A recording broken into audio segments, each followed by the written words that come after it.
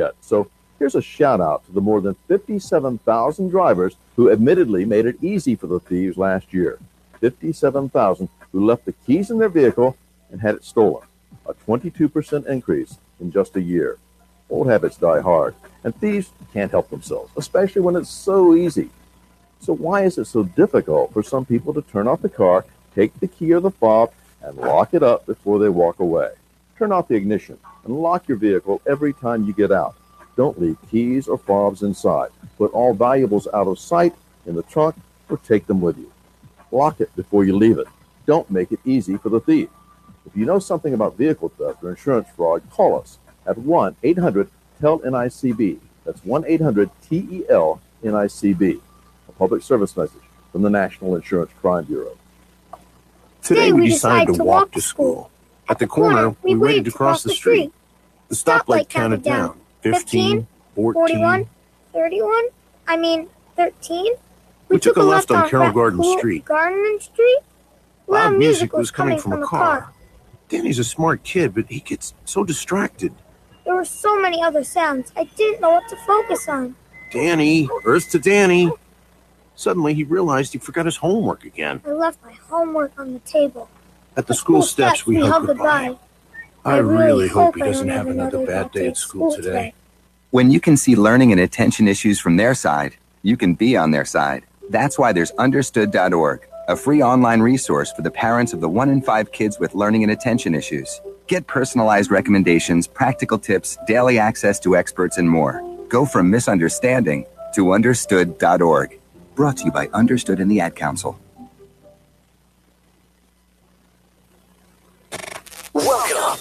New John Simmons Show. After years of battling a gambling addiction, John found hope and a future for his life through Christ. He has spent the last several years encouraging others to find joy, peace, and hope in their lives by walking out God's plan for their lives. Now, John wants to help you find the passion, vision, and faith you need to start writing out God's sentence for your life and help you add to it every day. Phone lines are now open. Call or text 314 880 0808. Now, here is your host, the new John Simmons.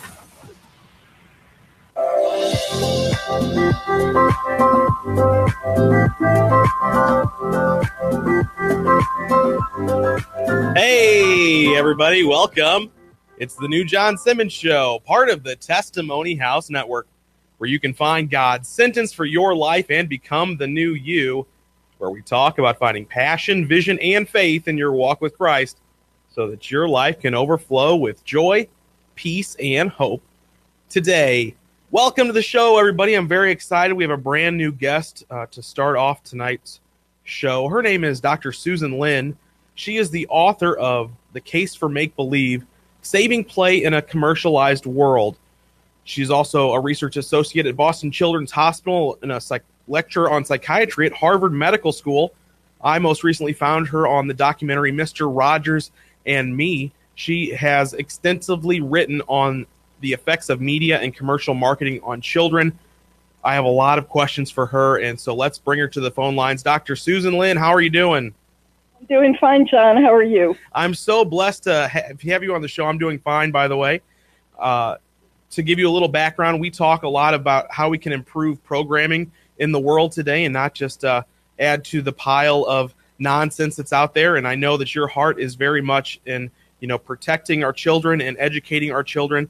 So if you don't mind, give our audience a little background about who you are and what your field is. Okay, so um, I uh, began life as a ventriloquist, and um, I uh, did performances um, all over the country, and I worked with Fred Rogers um, periodically for um, quite a long time. And I became a psychologist, and then I founded an organization called Campaign for Commercial Free Childhood Yes. which takes on corporate America for the way ways that they harm children through targeting them with advertising and marketing. That's incredible. I want to dive into a lot of what you just got into, just a few sentences. You've already unpacked so much. So let's start with the ventriloquism, uh, not an often associate. You don't hear a lot of people getting into this. So, uh, and you're an award winner. I, I, think I read somewhere as well. Yeah. So uh-huh. you're very detailed in uh, your gifts. And so, uh, tell us more about ventriloquism. What was it that drew you to this sort of uh, entertainment? Um, I think that it, the the great thing about puppets um, is that when you put a puppet on your hand, you can say just about anything. It's not, you know, and people will attribute it to the puppet and not to you. And as a child, I found that just incredibly appealing. And would talk to my puppets and they would share things with my puppets um, that they might not be willing to share with um, with anybody else. Right. And so eventually I became a puppet therapist at Boston Children's Hospital using puppets to help kids uh, talk about their feelings and gain some kind of sense of control over what was happening in their lives. It's a fantastic medium. Absolutely. And you said you used it on with Fred Rogers. So you found him as after he had already started his show. How did that relationship build? Um, when I was 19, I, I saw his show and I realized that he was doing exactly what I wanted to do. He was using really sound uh, principles of child development um, to uh, to create um, stories that would be helpful to children in coping with their lives. So I wrote him a letter and um, I went down to meet him. And um, about a year and a half later, um, he invited me to be on his show. So I went down and ended up taping a couple of shows. And I, I did that periodically over the course of several years. And then I started making videotapes about difficult issues Yeah. um, for kids with his production team. So we did a, for instance, a whole series on racism called Different and the Same, helping children identify and prevent prejudice. That is an awful lot you're doing behind the scenes. This is stuff I didn't have in my notes that I'm not necessarily prepared for, but I'm so excited because you have really dived deep into this idea of creating good content for our children. And for, Mhm. for me, Susan, I have two kids. Uh, one is almost three, and the other one's almost two. And so we've got these two young ones at home. I'm a new father, and I'm trying to figure out, you know, how can I become a person who brings something to them worth watching? For me, I had Mr. Rogers, and you knew the value of Mr. Rogers. And today's world, we aren't getting a lot of those Mr. Rogers. He's gone, and now we're he's having a bit of a resurgence right now. You know, he's got the documentary Right. coming out, and people are, you know, turning their eye back to what he was doing. And I think that's great because he did a lot of great things. And so for you, what was it about his show in particular that really drew you and, you know, made it a valuable show? because um, it was totally um, and completely for children and and to promote children's well-being. Um, and so a lot of children's shows feel obligated to include things for adults Mm-hmm. to keep the parents watching as well. And he didn't do that. I mean, everything in that show was incredibly um, carefully thought out and um, and um, and and based on what preschool children, young children really need. It was an extraordinary show. I mean, it's funny because it was kind of, you know, sort of cased in a 1950s sort of ambiance. Yeah. But in fact, it was probably the most radical children's television program that's ever been on. I mean, he dealt with things like war and peace and hunger and greed, Yeah. um, oil. I mean, he, he was just, he just did extraordinary things. One of my favorite shows of his um, was the one where about Santa Claus. And he did this show about Santa Claus. And by the end of it, if kids were ready to stop believing in Santa Claus, um, they could do that. And if they weren't ready, they would still believe in Santa Claus. Oh, it was goodness. really brilliant. And also, he said, you know, um, there are children who don't have Santa Claus. He said there Wow. there are children who don't even know who Santa Claus is, but everybody in the world believes in giving and receiving. and those are two Uh, core, core values that we like to talk about on on the show. Our Christian based show talks about the values of the Bible. Now, Mr. Rogers has professed his faith. I've, I've looked at his book, you know, The Simple Faith of Mr. Rogers, but he didn't really introduce this into his programming. Yet he was still able to take the morals of the Bible and and translate it into just loving each other and trying to educate one another. Mhm. So I, I think he didn't he didn't believe that he needed to impose his faith on other people. right, and, so and he took he took you're right, he took he took the morals and the values. And so for us today, if you're looking back at like like you said, he he talks about all the topics of that day, whether it was oil or war and these types of things. N- Mhm. Now we've still got topics like that today, but hmm I'm not sure it can. Is it is it politically correct? Is that even the right term to to you know? Could we put Mr. Rogers on the air today and would it be successful? Um, I think not.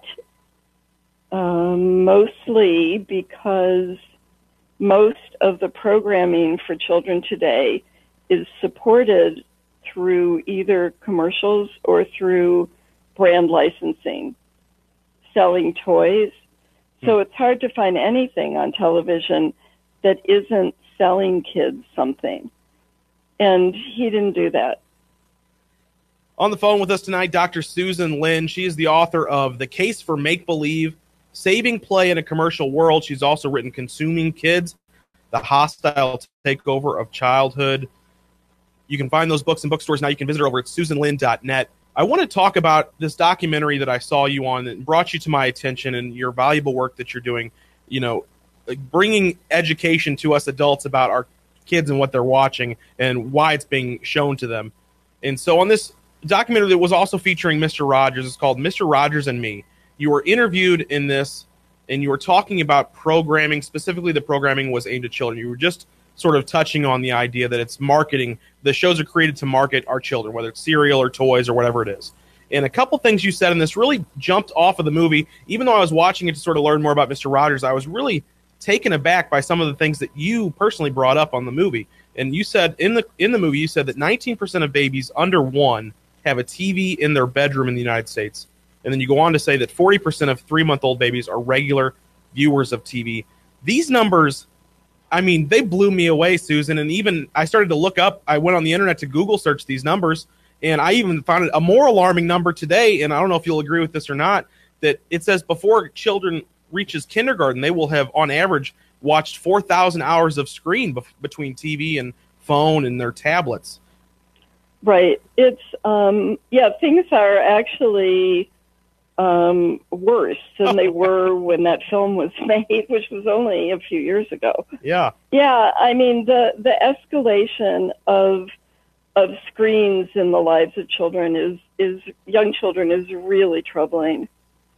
I, I mean, especially you know the push to get babies in front of screens, and there's no evidence that any kind of screen time is beneficial for babies.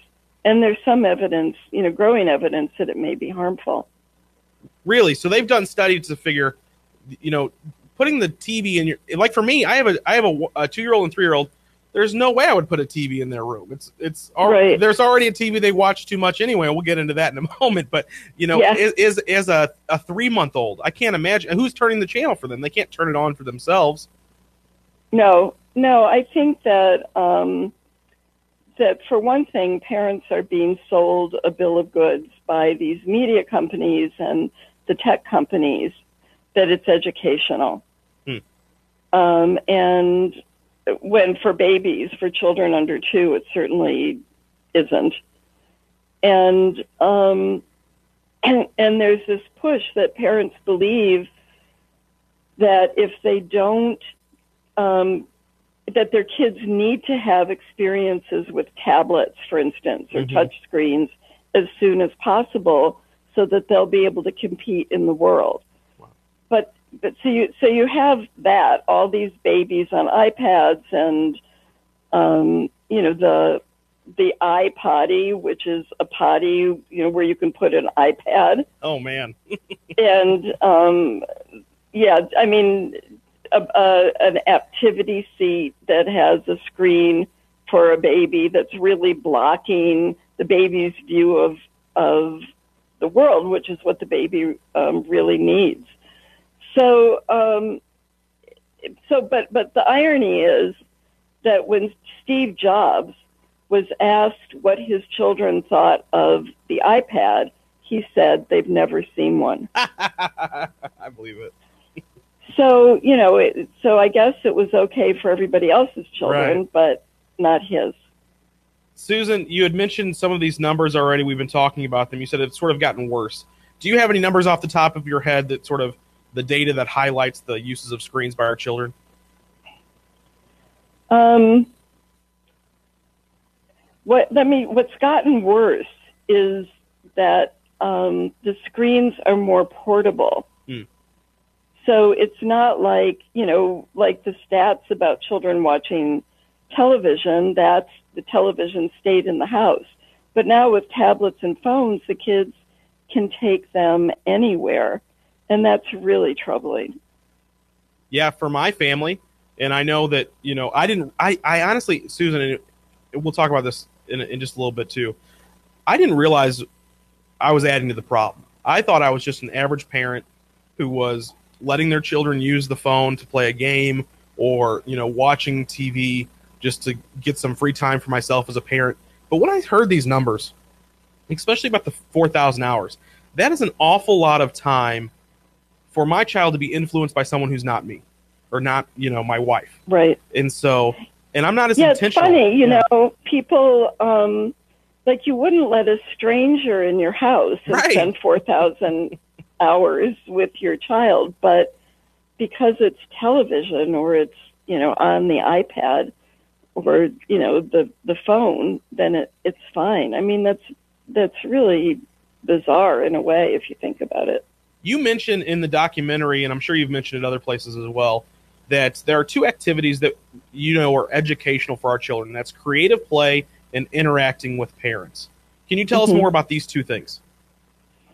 Yeah, creative play, hands on creative play is the foundation of learning creativity, constructive problem solving, um, the capacity to wrestle with life to make it meaningful. It's how it's how children naturally learn and explore the world. And and that's really what we need. I mean, it's not that, you know, we have a digital divide so much anymore because now every you know low income families have cell phones now but what we're getting is a play divide where um, you know the low income families are getting the message that screens are educational and and so the kids are you know watching more and more screens or playing games or things Mhm, mhm. on screens instead of doing the things that they really need to do, which are exploring the world with all of their senses. And I think that I think that in this country we give up a lot for convenience. And um, it's easy. I mean, being a parent is really hard Yes. it, it's it's hard to do. And you know, if you're lucky, you have a partner in your parenting. But you know, there are a lot of single parent families and parents who are working serial jobs. It's stressful. But but I think what parents don't realize is that once you start putting kids in front of screens, is that the children never learn to amuse and soothe themselves. Wow. So the kids that I know who who have grown up screen free or pretty much screen free, they can go off and play by themselves for hours. hmm But but if you start kids from the beginning of their lives needing a screen in order to be stimulated, then they're just going to be dependent on those screens. and now there's growing concern about addiction. Um, and and we all know that these devices are addiction. We're all addicted to them. Sure. I noticed that when I started being aware of what I was doing as a parent and letting my children have the screens in front of them, and when I took it away, there was this you know period where they'd get frustrated and angry. It's sort of like a you know a withdrawal of some sort. Mhm. And and and but then once they you know knew that it wasn't coming back on, the toys became more exciting, and then they wanted to find something else to do. So I know that they're they have the ability to play, but I don't want them to get to a point where they can't figure out what the next thing to do in life is. So uh, right. You know, I, and one of the things um, that that I think we forget is the importance of boredom. Yeah. the importance of boredom. Right, because it, it's if if you're if you have a chance to be bored, then you find things to do. You make things up. I mean, if when I I watch kids a lot, like when I'm I'm in a store or I'm walking around, and and if kids don't have a screen, they play. I mean, if they're in a store, they'll they'll jump around you know the lines on the floor or they'll make up some kind of game or they'll sing or they'll do you know weird things with their body but but they they can um, amuse themselves and and also they engage with the rest of the world they look around and and um, and take an interest in the world so while it's convenient when you're going out to dinner to give kids cell phones, so so you and you know your partner can talk. Yeah. Um, but in doing that, you're training the kids not to be able to um, amuse themselves and take an interest in the world. train our kids up to do the right things.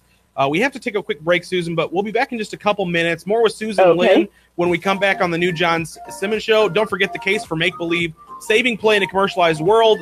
Her book is available over in bookstores now, Amazon.com. And when we come back, we'll t- discuss what can we do differently to change our culture, to change our intentionality as parents. More with Dr. Susan Linn when we come back on the new John Simmons Show.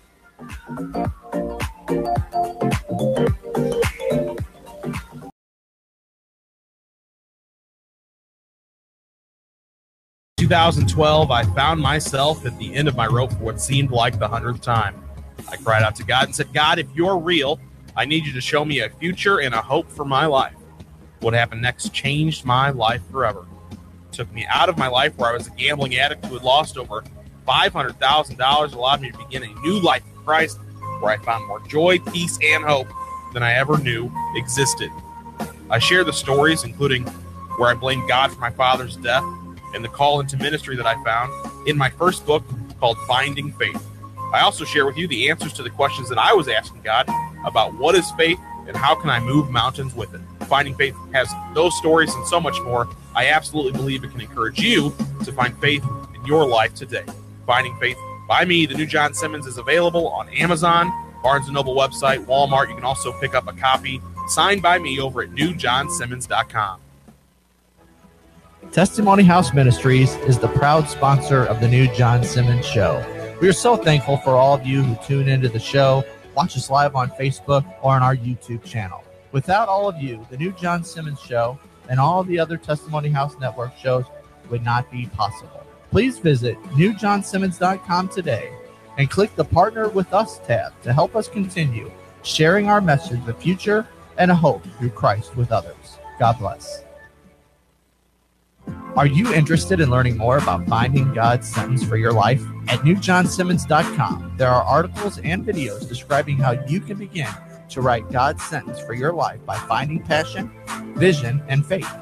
In addition, newjohnsimmons.com has a variety of ways for you to be encouraged to continue writing God's sentence. As always, you can hear the show live weekdays at 9 p.m. Central Time by clicking the Listen Live button when you visit newjohnsimmons.com. One of my favorite testimonies of fitness and faith is the story of Heather McAdams. Heather found Jesus in 2013, and around the same time, she also found the determination to change her health both physically and spiritually. Years later, she has shed many pounds, but has also shed the weight of stress and sin when she became a new woman in Christ. Today, she wants to use what she's learned to help you meet your fitness and spiritual goals through her ministry called Faithfully Fit and Wellness. Heather hosts classes on Tuesdays and Thursdays that can help build your strength and also your spirit through exercise, prayer, and fellowship. Call her today and tell her you heard her story on the new John Simmons show, and she will meet with you for a free 30 minute wellness session where she'll sit down and discuss your faith and fitness walk and also help you write some goals for your spiritual and fitness future. This is your chance to write your testimony of faith and fitness. Visit Heather's website at faithfully.fit. Find her on social media at Faithfully Fit Wellness or call her today at 314 239 4149. That's Faithfully Fit. Get where you want to be physically, mentally, and spiritually. WGNU, the talk of St. Louis, broadcasting on 920 AM and 106.9 FM.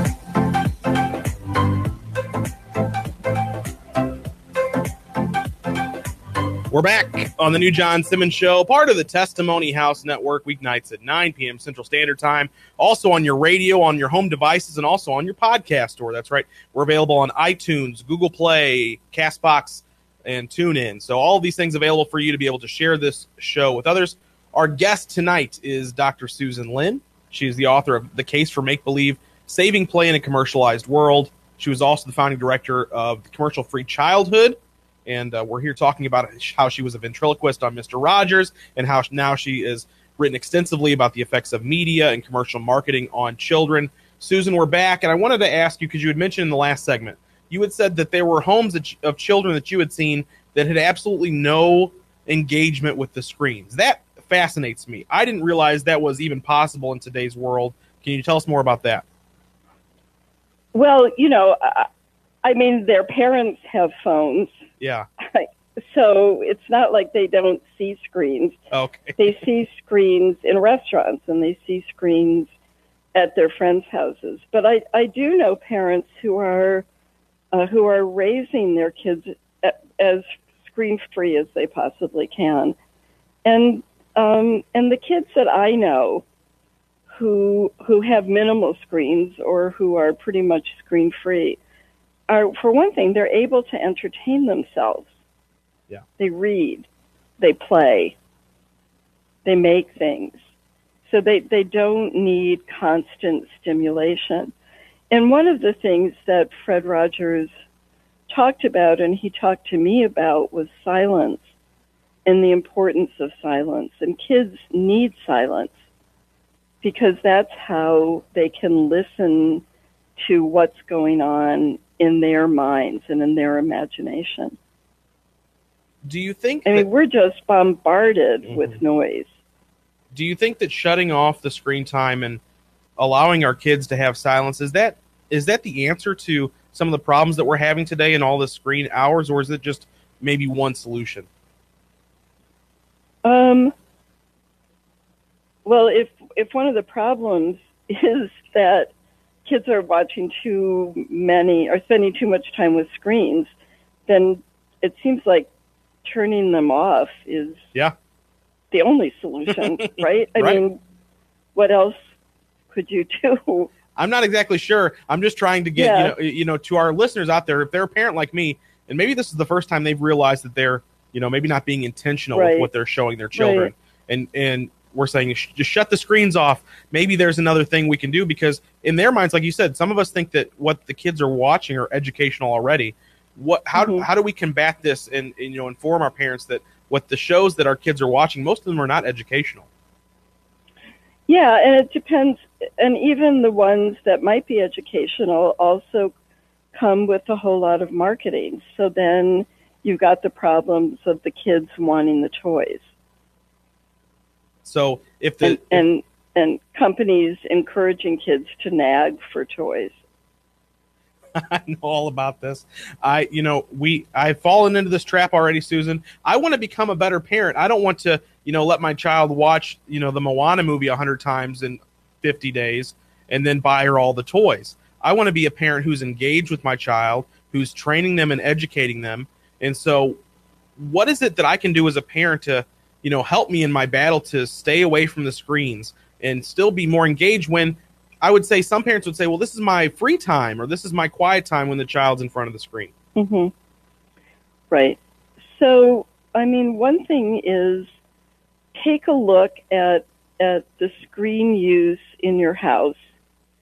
Take a look at whether it's it's alleviating stress or causing stress. Are the kids, you know, cranky and irritable when you try to turn it off, for Mhm. instance, or do you have to argue with them to get them to come to dinner? Yeah, I've seen that. And and if you feel that it's just too overwhelming, you know, to to or impossible, you feel to turn off the screens, then look at where you can cut back. right. I mean, designate screen-free times in your day or in your in your week with the kids. Sc- screen-free meals are really important. I mean, that's the one thing that it that that you know parents can do is sit down with kids at meals and have conversations with them. I Talk want, to them yeah, so they they get you know that's where family stories get passed on is the dinner table. that's an excellent point because I love telling stories. Our ministry is called Testimony House. Our desire is to tell a story of how we found Jesus, but for our children, you know, that faith conversation is not something we can have with them yet, but we can tell the story about what we did when we were their age or what we did at school. And this is more engaging to them than, you know, just them watching TV while we all eat together. Right, and and and so I think um, some families, you know, designate a screen-free night where everybody plays games together, or you draw, or you sing, or you do whatever you'd like to do as a family. So I, I think, I mean, I know that, um, you know, we've gotten very dependent on our screens, and especially, you know, if your kids have been having a lot of screen time, it's initially going to be difficult to cut back. But I think what you said is really important that it starts out with the kids being antsy about it, and then eventually they think of other things to do. What is it that in today's world we're not able to, you know, translate the Mr. Rogers to today? Do you know, or do you like if, if you were going to advocate for any program, or maybe you you would say just don't watch any of them? Is there a program out there today, or programs plural that are aimed at our children and are educational in a way that's not just a, uh, a show they watch at school? I mean, I you know I think that um, I- I mean I think that PBS has some really good programming, Mm-hmm. and it's free. It's not you know it's not cable. Right. Um, and I think that the the the problem isn't. I mean, there there are. I think there are are plenty of of shows or enough shows that have good content for kids. That, but the problem is that there's there's just too much screen time.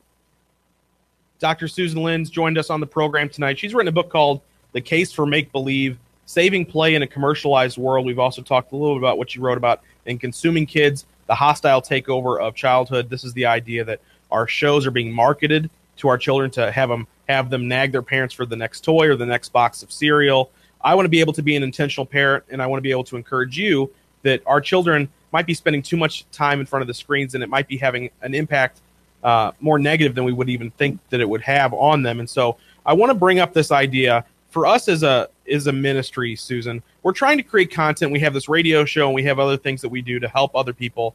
And we really want to dive into this world of producing content for children.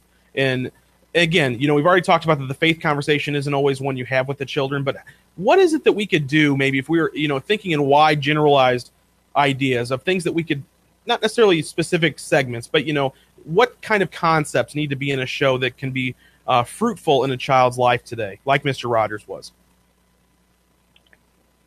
Um, I think that um, one of the things that's happening has been happening in media for a long time for kids is that they um, it, it, it moves very quickly. It moves way too quickly, Mm-hmm. and that one of the things that um, that that the the games on on tablets and apps there's a lot of you know poking with your finger or swiping or you know that kind of thing but i think what kids really need is narrative They need stories. And and um, as you know, um, stories are are a great way for helping children talk about feelings or or to or gain empathy for somebody else. So and and and I so I think that um, I think that that kids need stories. And that's something we like to do on this show, and it definitely translates to the future of what we're trying to accomplish. How can we tell the stories, not just of the Bible, but of the people who are trying to increase in love on one another, increase in the world, and, and leave a lasting impact positively? Dr. Susan Linn has been with us on the program. Uh, Susan, do you have any way that people can contact you or reach out to you, or is there anything uh, you're doing right now that you'd like to talk about, how they can find you? Well, I think that um, I think that what would be really helpful to people is for them to get in touch with the campaign for commercial free childhood. Mm-hmm. It's um, the website is commercialfreechildhood.org. In addition to being an activist group taking on these huge corporations who are um, undermining children's lives with all of this commercialism, they also have tips for parents about um, parent tested screen free ideas. And they they have Screen Free Week um, every year, which is something you can celebrate. I think that taking a look at that website would be really beneficial. Yeah, especially for someone if you're like me and this is the first time you're hearing about it, like I was just a few months ago when I when I saw this documentary and I reached out to find Susan because she has a ton of information and this is where she came from, the commercial free childhood, correct, Susan? Mm-hmm. And so yeah, yes. a wonderful resource. Uh, I'll I'll, ge- I'll leave the link in the next segment for everybody, and it'll be also on the Facebook Live link if you want Oh, to find that for yourself. Uh, but Oh, good. Uh, Susan, is there any way particular they want to get your books? Um, the books are, are available on Amazon. That's probably the best way to get them now. Well, I'm so thankful that you took the time with us tonight. I'm, I mean, it's truly, I'm, I'm grateful and honored that you've joined us on the program tonight. I've learned a lot. Uh, we're picking up your books and reading them, and we're going to hopefully be able to be uh, wiser parents in the future. Thanks, Susan. Well, thank you. All right, we'll see. Bye-bye. you. Bye bye. Uh, Dr. Susan Linn, everyone, author of The Case for Make Believe Saving Play in a Commercialized World. She joined us on the program tonight to talk about all that it is screen time in our children. The average child, before they are five years old, spends 4,000 hours in front of a screen. I love what she said. You wouldn't let a stranger spend that much time with your children.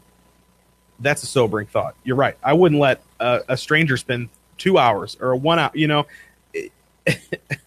and yet we invite all of these characters and their thoughts and their songs and their ideas into our you into our living room, into their eyes, into their minds. Even when we're not watching, we don't know what they're saying. Have you ever left the room when your kids watching TV? You have now, you know, lost your idea to know what that kid is learning and what they're hearing and what they are seeing. And for me, hearing Dr. Susan Linn on the Mr. Rogers and Me documentary was such an eye opening experience to understand that God's plan for my life is to be intentional in my parenting. And I want to be able to create children who are engaged in learning and being educated, and that I actually have a part in that. And then I'm not just allowing the screens to do it for me. So, a great conversation. I'm thankful for her for joining us on the program tonight. As she said, find her books, The Case for Make Believe or Consuming Kids, over at Amazon.com. When we come back, uh, just a wrap up conversation about uh, what the ministry's up to and uh, what you can expect for us over the summer. Don't go away. You're listening to the new John Simmons Show, part of the Testimony House Network.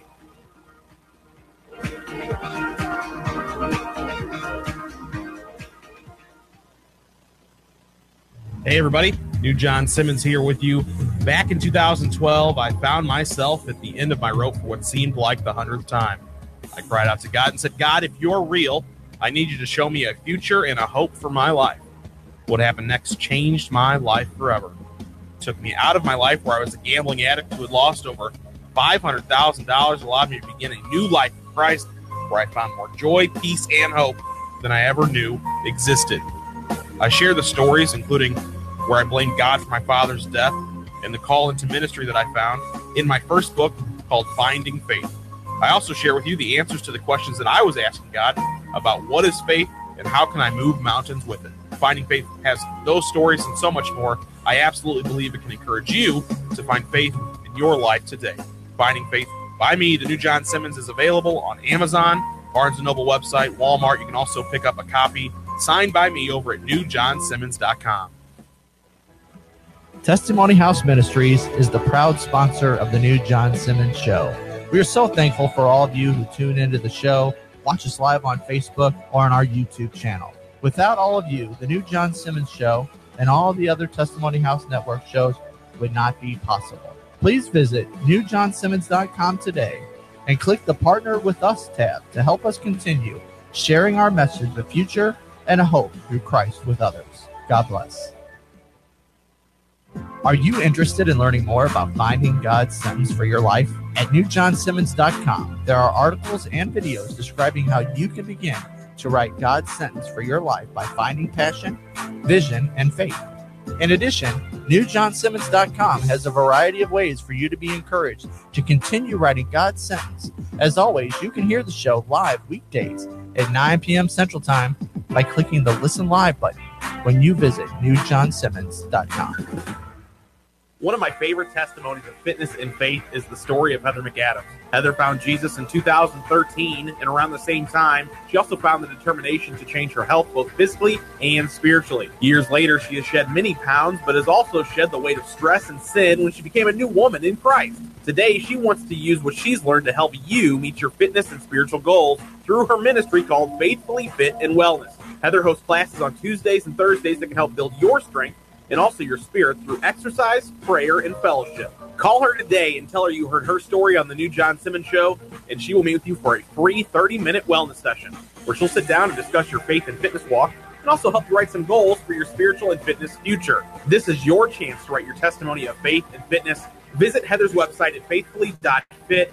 Find her on social media at Faithfully Fit today at 314 239 4149. That's Faithfully Fit. Get where you want to be physically, mentally, and spiritually. Every topic is on the table here at WGNU 920 AM and 106.9 FM.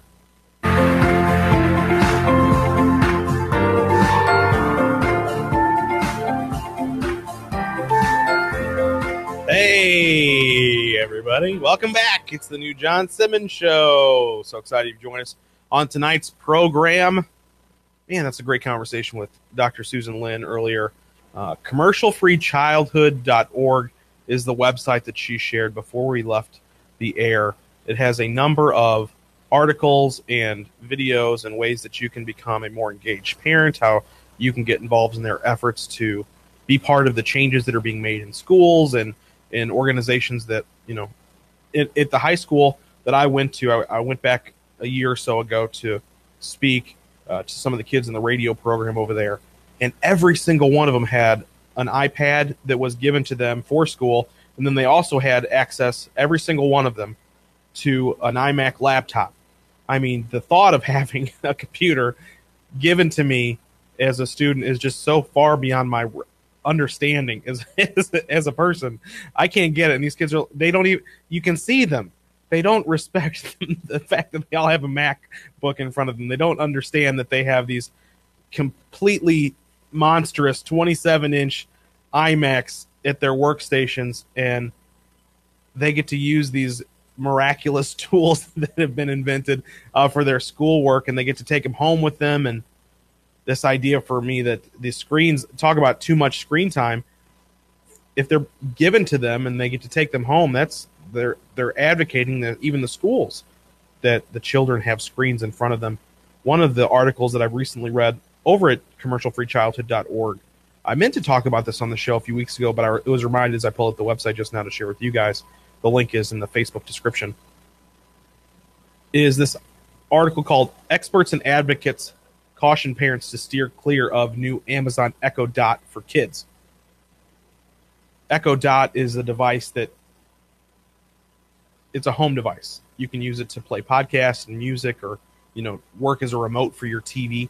We have two of these in my home currently. Not the ones for the kids, but the adult ones, I guess. So we use it to play songs and listen to podcasts. You can even hear my show on it if you say the words the correct way.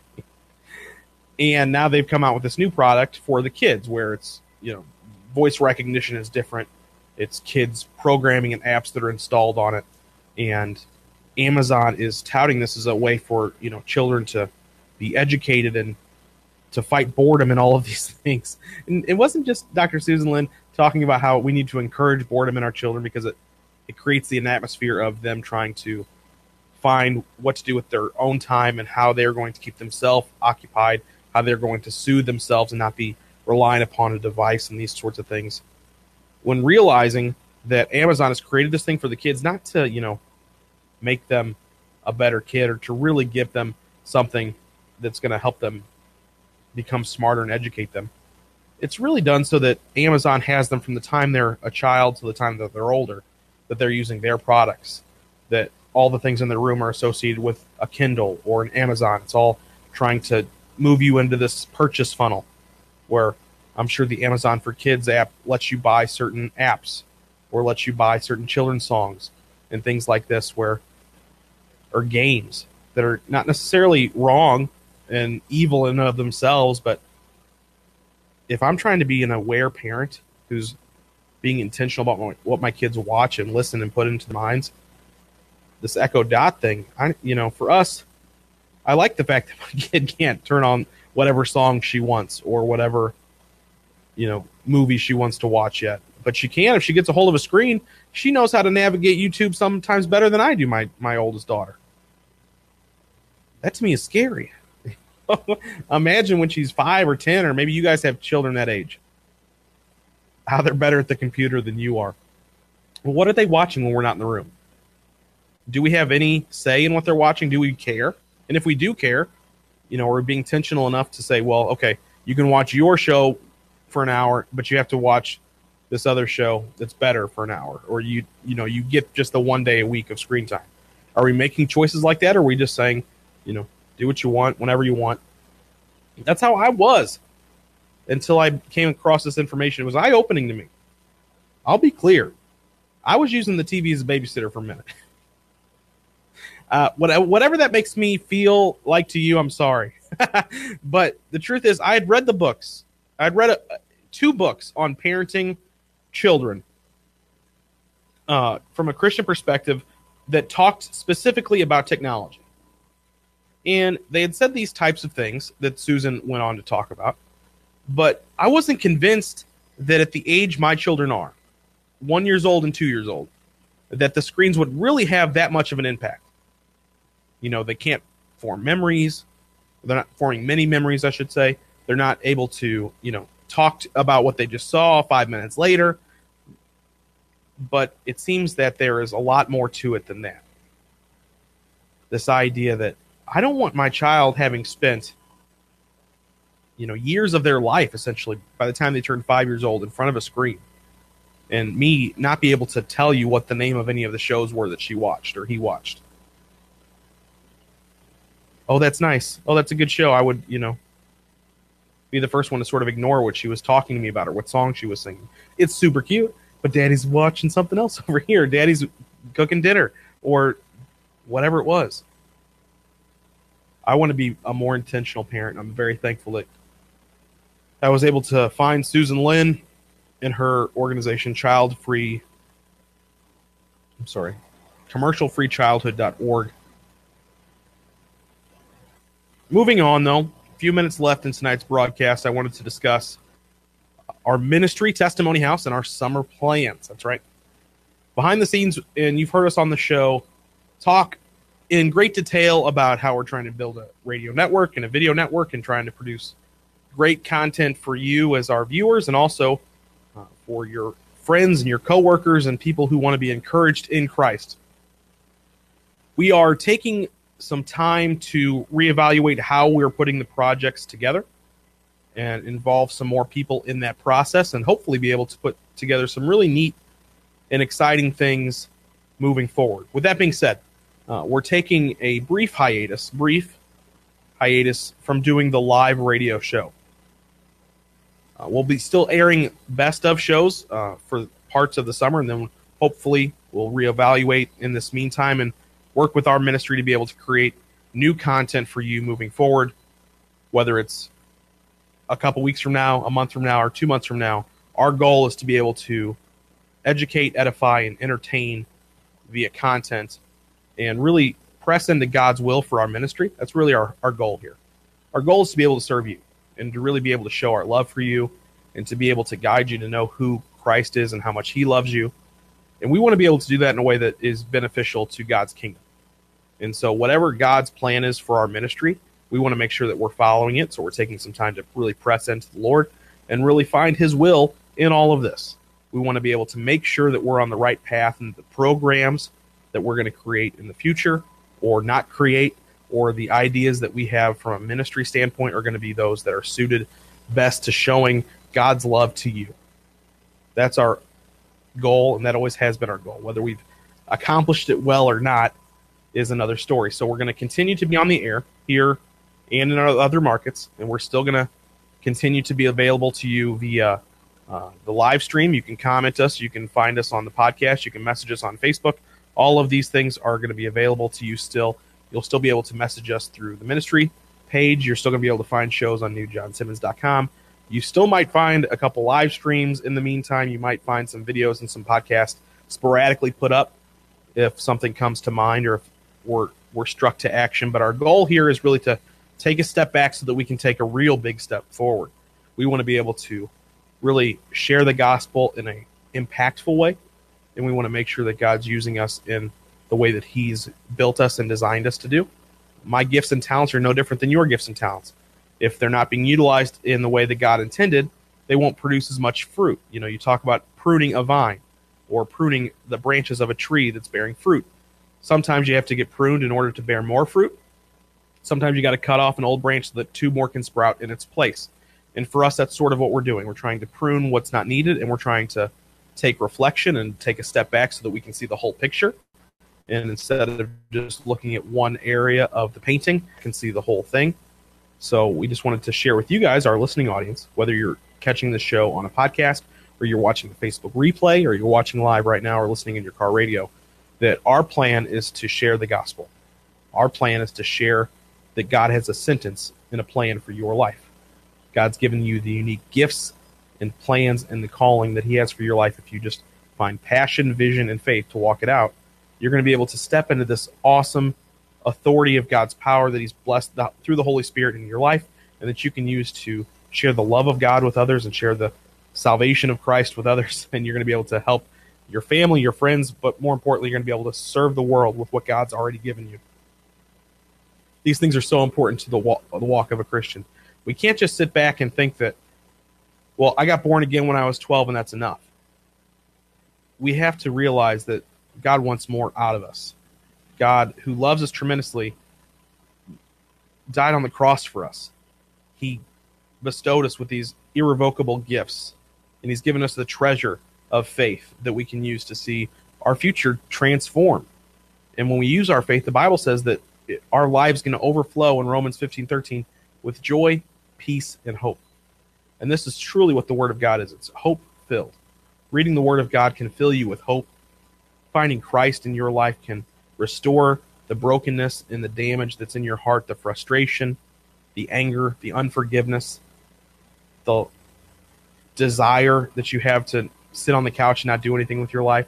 can remove these things. It can give you a calling on your life that is truly remarkable because the, the Son of God that died on the cross for you is remarkable, and what He's put inside you is just as much. Not because you've earned it, not because you deserve it, not because you're entitled to it, but because God loves you and He gave us all of these gifts so that more and more can find Him who is worthy, who is entitled to praise and worship, the Lord in heaven, Jesus Christ. I want to encourage all of you, if you don't know God right now, Jesus is who He sent to die on the cross for your sins. The payment of sin is death. The Bible says this, and only through Jesus can you find salvation. This is the only method. The only way by which you can be saved is the name of Jesus. Romans 10 9 says it this way If you confess with your mouth and believe in your heart that Jesus Christ is Lord, you shall be saved. Ephesians 2:10 goes on to say that you were created by God, you are his handiwork, his masterpiece. And you were designed by God to do good works through Christ Jesus. So after you find Christ Jesus, know that you've been given gifts. You are the masterpiece creation of God to do good things. And we say that the good things that God wants us to do are to love God with all our heart, mind, and strength, and also to love others as ourselves. These are the two commandments that Jesus talked about in the Gospels that all of the other commandments hang off of. And now that we have the power of the Holy Spirit inside of us after we become born again, it also says in Romans that the law is now written on our hearts. So our conscience is now what guides our behavior and our thoughts because the Holy Spirit is now involved in our thought process and brings conviction to us when we're doing things wrong. And so when we become born again, our goal is to find Jesus in our heart and then to seek out a relationship with God through quality time and communication. And then when you start to do that, you're going to find a passion for God. And after you discover your passion for God, I want you to do this. I want you to pray and ask God for spiritual wisdom and insight. This is what finding vision is the ability to see your future and not look back at your past and say, Why am I in all this trouble? Why did all these bad things happen to me? But yet look at the future that God died on the cross for you for. And go after there and chase it. And when you find a vision from God, when you pray and you ask God for spiritual wisdom and insight, and He says, I want you to go here, I want you to do this, I want you to be part of this, you're going to have to step and take big steps of faith in your life. And the faith, according to Hebrews 11, is the ability to have hope in the things, hope and confidence in the unknown things of the future, assurance in things unseen. This is the idea that you're able to look forward with your life and know that where you're going, even though it may be unlikely in your past life, you would have thought it was unlikely, or maybe you feel like you're not worthy enough, or you're not good enough, or you're not smart enough. Good. It's not you that's going to do it. It's Christ inside you that's going to allow you to fulfill that. But you have to put faith not in yourself, but in the Christ who died for you and was rose again as payment for your sins. I want to thank everybody for listening tonight. We'll see you again soon. I hope. And until then, I want to thank Mr. Curtis behind the boards. Thanks everybody who's been on Facebook Live tonight. We'll catch you all again down the road. Don't forget, though, we pray that you discover a future and a hope for your life today. Thanks for listening to the new John Simmons Show, part of the Testimony House Network. To replay this episode or listen to past episodes, look for the new John Simmons Show podcast on your mobile device. Stay connected to the show. Read the latest news, blog posts, and see behind the scenes photos by following at New John Simmons on Facebook, Twitter, and Instagram. If you would like to learn more about how you can begin to write God's sentence for your life, or join a growing community of people who are finding passion, vision, and faith for their lives, please visit newjohnsimmons.com. Until next time, we pray you discover a future and a hope for your life today.